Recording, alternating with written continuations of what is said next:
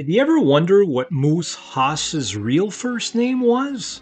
Turns out it's Brian. Moose was the nickname given to him at birth by his father.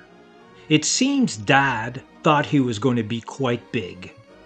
Moose made his Major League Baseball debut in 1976 with the Milwaukee Brewers and spent 10 years with them before finishing up with the Oakland A's for his last two seasons.